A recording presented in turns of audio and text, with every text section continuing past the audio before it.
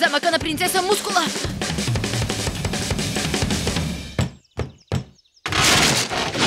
Здравей, Фин! А, привет, принцесо Мускула! Какво те води насам? Ти беше най-близката принцеса и ми трябва кичур коса.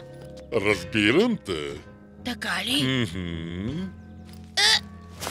Но какво правиш? Опитвам се да те прегърна. Защо? Аз само искам коса! О, ясно.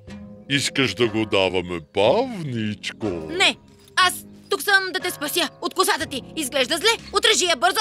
Разбира се, че е зле. Ако имах красива коса, никой нямаше да вижда мускулите ми. Върни се, когато имаш сериозни намерения към мен.